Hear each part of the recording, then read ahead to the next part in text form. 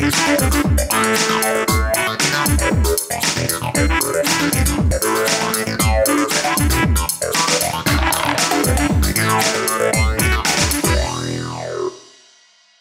guys, if you're watching this then you're curious about migraines. Maybe you suffer from them and are looking for ways to relieve the problem.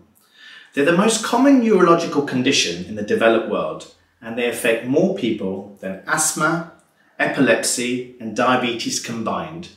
So when you consider that 15% of all men and women suffer from migraines globally and around 6 million people in the UK have migraines, they're one of the most common causes of chronic pain and go way beyond your average headache.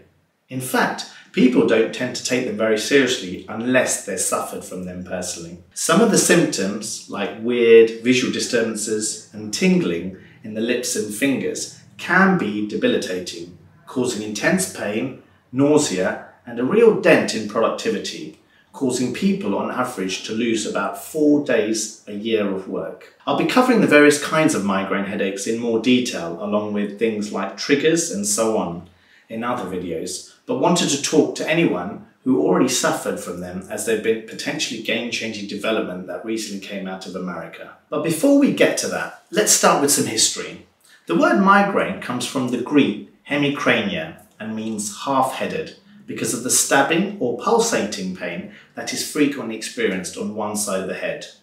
Migraines date as far back as 4,000 years ago and are even referred to in the biblical texts. 50% of migraine sufferers don't see their doctor about them. So as always, if you suspect that you're getting migraines, please go to your doctor to discuss further. But in the last couple of weeks, a new interventional study has emerged that provides pretty compelling evidence that the correct diet could help relieve some people who experience these attacks frequently. Now, I know you've probably heard how diet can help and you've tried everything, but what marked this clinical trial as particularly interesting is just how dramatically it reduced the number and severity of headaches. It found a diet high in omega-3 was associated with two fewer headaches per month, and a diet high in omega-3 and low in omega-6 cut monthly migraine days by four. So what was the diet? Fish. Sponsored by the National Institute of Health, the trial was designed to test whether a special diet could alleviate the participants' headaches. The diet that was once assigned to follow favoured foods that contained high amounts of omega-3 fatty acids, the oils found in some fish, while limiting foods that are rich in sources of omega-6 fatty acids such as many vegetable oils. Now what's exciting about the results of this trial is people who suffer with migraine follow really restrictive diets in an attempt to get some relief. But honestly, there's not much evidence to suggest any of these actually do any good.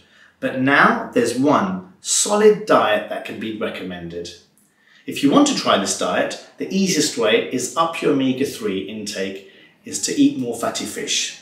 That includes sardines, mackerel, salmon, anchovies, tuna and trout. Tin versions are fine, but try to keep it as fresh as possible.